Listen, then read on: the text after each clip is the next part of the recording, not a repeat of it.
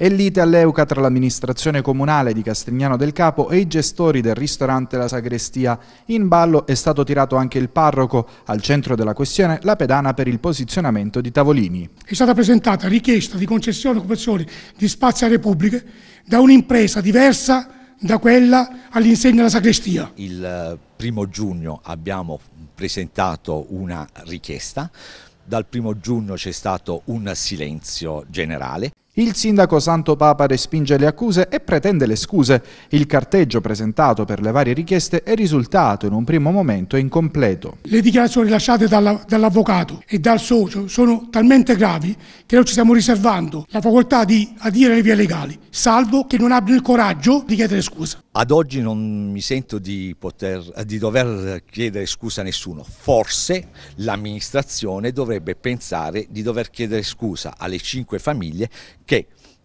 rischiano di non poter percepire un reddito. Don Giuseppe Endino, parroco della Chiesa Cristo Re, preferisce non rilasciare dichiarazioni in telecamera, ma ci dice che accetta quanto la sovrintendenza chiamata in causa dal Comune deciderà. Per lui è prioritario salvaguardare il decoro della Chiesa. Il parroco ci aveva, lasciato, aveva inviato una diffida perché non si può accostare niente ai beni culturali tipo la Chiesa se non vi è un'autorizzazione paesaggistica. E a tal fine abbiamo richiesto alla, alla sovrintendenza un parere, se si poteva rilasciare o meno, ciò in base al decreto legislativo del 2004.